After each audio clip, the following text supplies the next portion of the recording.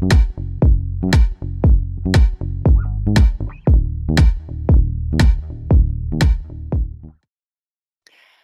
and a warm welcome to Mining Review Africa and our Women in Mining Women's Month video campaign. I'm pleased to welcome Robyn Mellett, CEO and founder of OMI Solutions Pty Limited. Welcome, Robyn, and thank you for joining us. Bonjour, Jumbo, ni hao. Hello from the DRC, Tarren. Lovely. Robyn, you have 20 years experience in project management for a suite of environmental projects. Can you tell us more about your involvement in the mining sector specifically? Yes, I was very lucky to start in the mining sector in my safety boots. Um, I was given such a nice compliment this week. Uh, one of the gentlemen bumped into me in the DRC and we'd worked on a mine before and he said to me, oh, you're actually clean, Robyn. you know, so I'm really used to getting into the operations and fixing something in my safety boots. So I feel very blessed that that's where my career started. I worked with really big mining houses uh, and in-house support. Um, I've also worked for consultancy firms. Um, and then in 2017, I think I hit a bit of a midlife crisis and decided, okay, I'm off to Afghanistan. And I went to work in Afghanistan for a few months and really did realize that I miss mining. So it wasn't long after that, 2018, I opened my company. And one of the biggest reasons for opening OMI was I'd heard my entire career that my ideas were not something that was possible. So the word no was most likely the word I heard the most. And I, I just wanted to prove them wrong. Uh, and I think we have. We are now in 25 countries in just over five years um, with a really good, strong team, and we have a really strong strategy. So we're opening a corporate office in the US, um, and we have really strong guys joining our team. So yeah, I'm pretty proud of where we are today. Amazing. Okay, so you are internationally recognized for your contribution to science and environmental sustainability, um, having been awarded a fellowship, sorry, a fellow membership with the Institute of Environmental Management and Assessment in 2022. Please tell us more about this and with a specific focus on your involvement in raising the position of and respect for women within the mining industry and your commitment to the professional development of women specifically. So look, one of the reasons why I'm so proud of being recognized internationally is because with this recogni- recognition, they never made reference to our gender. Um, and that's really important for me. And it's really important to remind women in mining that you want to be recognized as a colleague, as a peer, and as a scientist. And as a fellow, I've been recognized as a scientist amongst my peers. And that's something I'm very proud of. Um, it was an idea that was born in 2008, and it's something that I spoke about at every operation that I worked on. No one listened to me. Everybody said to me, "It's it's not going to work." Um, it's one of the reasons why our research lab is successful today, and um, so that was why I was recognized as a fellow. Um, yeah, so I'm just so proud of it because my gender wasn't referenced. Okay, so so just on the back of that, so in your opinion, what challenges do professional women in the South African mining sector face? I think one of the biggest challenges, and it's something that I, I saw throughout my career, and it's something that I, I've seen as, as a CEO and interviewing many people for positions inside of OMI, the, the women do not ask for the same salaries as the men they typically ask one third of what the men are asking. And I think it's really important for women in my position to mentor younger women and make them aware that if you're capable and you're able to do the same job, then you should be asking for a bigger salary and the same amount um, or the same. I think women are always so. I think I think we appreciate things and we're just grateful. And sometimes you don't always have to be that grateful. You are worth every penny. Um, and I would love to mentor women, especially with that. And I think that's one of the challenges that we face in mining. Okay, absolutely. So, so one of what are some of the lessons that you wish you had learned earlier on in your career? I think again, and it's something I will keep going back to, is that teams are only successful when you have a gender balance and diversity. So you can't just have all women, you can't just have all men, you can't just have one culture or one religion. And something that I always say to my team, which they must remember, is as soon as you realize we're all working for the same goal, you will res- respect each other far better.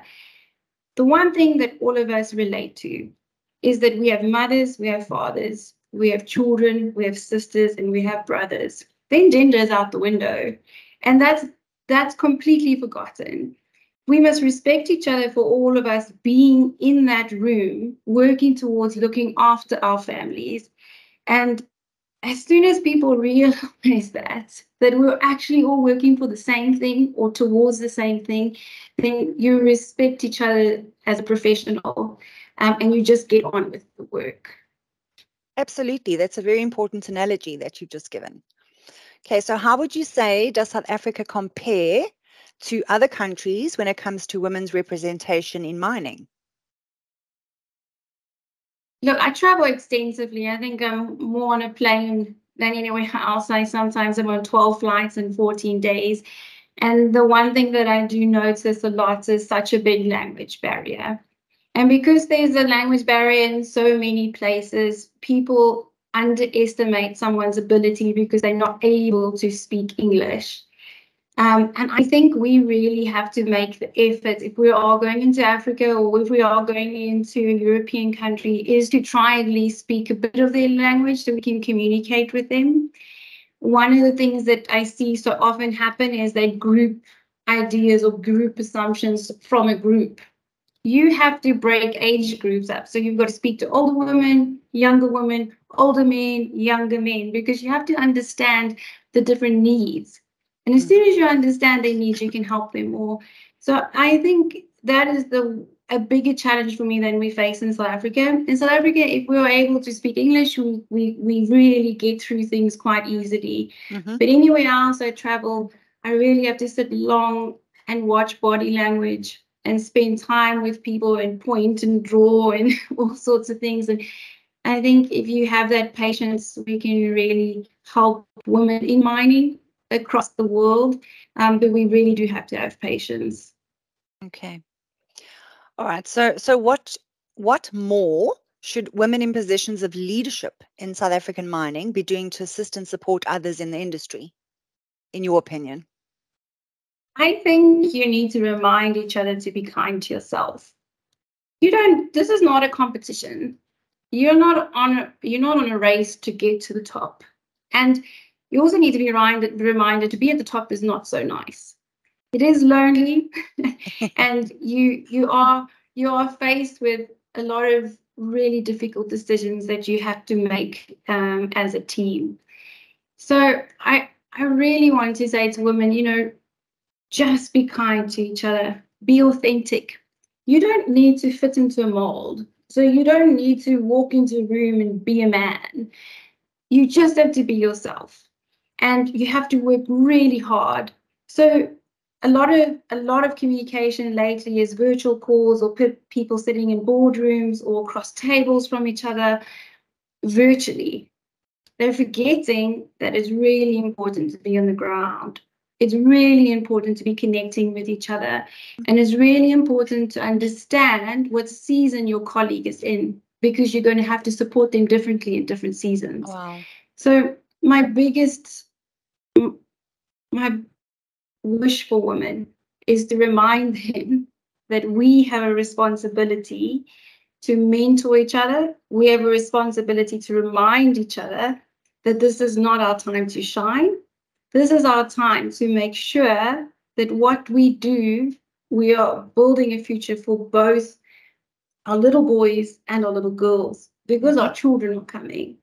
So I, I, yeah, the biggest one, be authentic.